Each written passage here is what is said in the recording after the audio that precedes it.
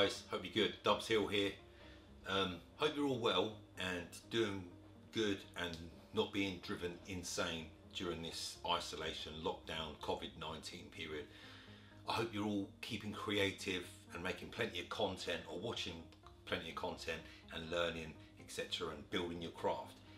Anyway, the reason for today's video, some of you may have seen already that I decided to purchase the Loupedeck Plus.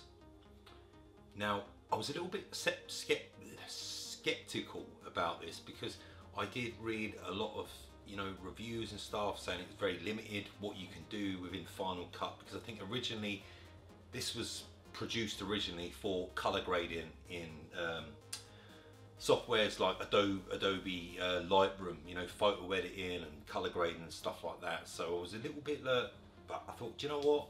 I'm going to buy one anyway and give it a go. I like to find that for myself, so I thought I'd find it for myself.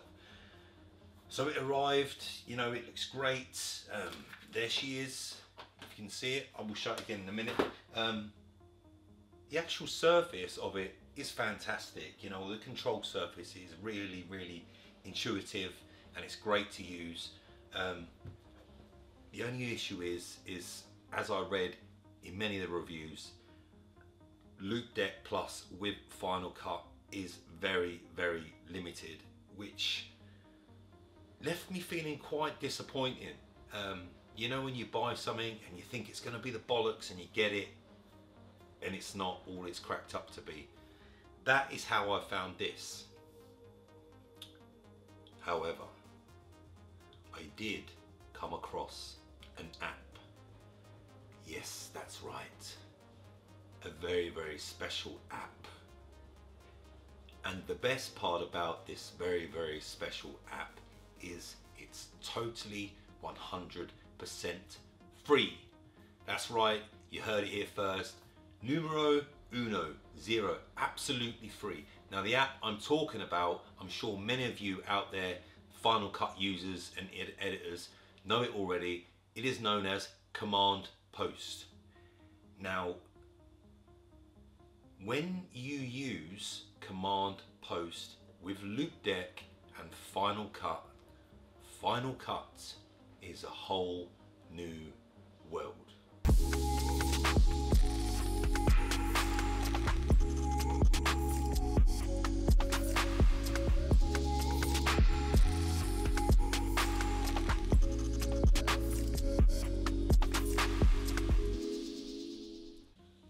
So we've got Final Cut open.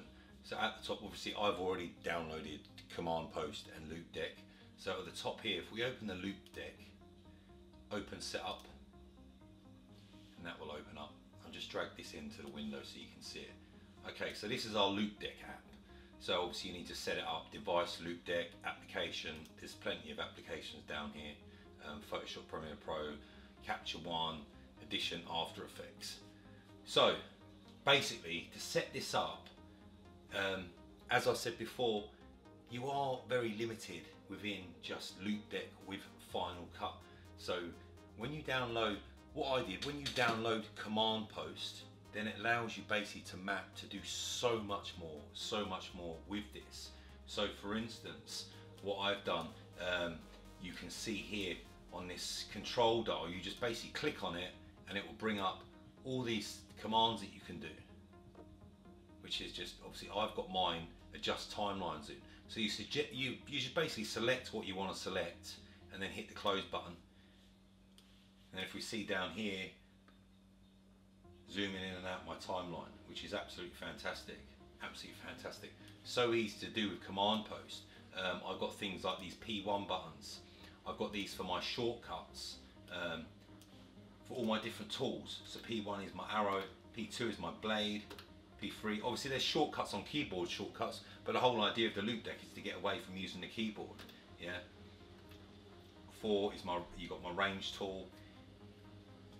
Okay, and then I've got other things. So for instance, I think I've got P5. If I just click up here, P5 automatically selects the transform tool.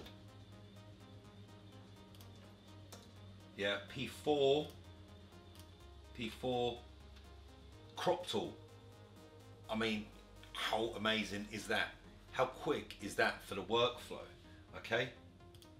I've got other things on here which I've put on here. So um, obviously normally if I want a title, I got the titles. There are shortcuts and stuff that you can set up and you can also use command command post for key commands, shortcuts. But now I've got the Loupedeck, I've got them all on buttons. So if I open up the Loupedeck here, open the setup again, what have I got here in uh, P5, select transform, so I think it's P6. Um, okay, so P6. So I get here, I get to where I want to go, P6, add basic title. How easy is that? Let's carry on. Come on, let's do some more. Let's do some more. It's exciting. Command Z out of that. Okay, P7, add a basic lower third. I mean, the possibilities are endless what you can map Loupedeck to do in integration with Final Cut. It's fantastic. I've got these other knobs like um, I've got like D1 here. Yeah, D1. What's D1? D1 is navigate 10 frames. There, look at that. Contrast. Select the next clip. Wherever my clip is. Yeah, and then when we go into editing, when we come into editing, I can move to where I want. I've got these, these buttons here. I'll just show you on the screen as well, just so you can get a hang on what I'm actually doing.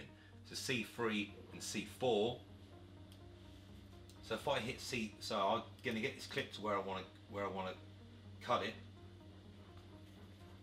C3, watch, bosh. I need to take a little bit off that end. C4, bosh. I mean, how good is that? How good is that? I am so excited about this. You know, my workflow is quick, pretty, pretty quick anyway with a keyboard and mouse. But this is just next level business. I in the last week I've edited another two or three videos in must be without exaggerating half the time at least half the time. So is actually fantastic. Another big one, big one for me, massive one is you know when you're trying to uh, work with your audio? Yeah you need to turn this down and it's really really sloppy trying to get this precise with the mouse. Yeah check this. 1 dB at a time. 1 dB at a time. And that that is just set here I've just set this exposure adjust volume. I mean how how refined and simple and easy and precise is that? It's just ridiculous. It's just ridiculous. And then also I've got um, I've done some other ones as well. Um, what we got up here, L1, I'm not going to drag it on too 1, is add a marker. So I mean, I know people use the M to add a marker in Final Cut on the timeline, that's fine, but this is just trying to trying to keep the essence away from the keyboard as much as possible. And then we've got L2. What we got on L2? L2 is go to the color board. So instantly, if I want to start color grading, you know, I could be here in the inspector or whatever, yeah, hit L2, bosh, there's my color board straight up on the screen so I can work with it. I mean that that that in itself is just you know amazing. L3 import. I mean yes you've got command I but again I'm keeping my hands on the control surface as much as possible and that's what this is all about and that's what command post does for you. Yeah that is what command post does for you. It keeps your hands off the keyboard. I mean I do still use the keyboard as well and I've only had this thing just over a week so I'm still finding myself using the keyboard an awful lot, but that's just because I'm used to years and years of editing on an Apple Mac keyboard. So, but I am using it, especially for the volume, you know, and the shortcuts for the titles and the color grading is just, I mean, color color grading is just ridiculous. I mean, let me just bring up, um, let's bring up a color wheel here. Yeah. So what I've done is I've set these, yeah, all these for, for color grading and this is I think set to my main contrast so if I just show you here on the screen um,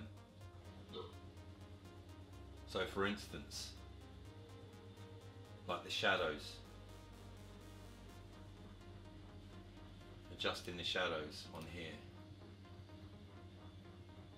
Adjust the shadows a little bit. I mean, this is just this is just next level. Highlights, bring my highlights up a little bit. A little bit of contrast. And then also I've set these other two other two down here, temperature and tint as well, which they do exactly what they say they do. So we've got the temperature up there, add a bit of temperature and a little bit of tint. And I mean, there you go. I mean, this is just, this tool is absolutely fantastic and I'm so glad that I found this. Let me just show you a little bit about Command Post as well before we go, because you're gonna like this, all right? You're gonna like this, okay? So I'm coming along here, add a marker there. Oh shit, it's in the wrong place. So I've got to right click, I've got to delete it, then I've got to try and find the right place to do it. Okay, what if we opened, open command post, go in command post, go into the preferences, preferences tab, final cut at the top, yeah? Final cut. Right, movable markers, see this down here? Open this up. There we go, right. The easiest way to enable movable markers in terminal. So basically all you need to do is copy and paste this script in here and then go into your terminal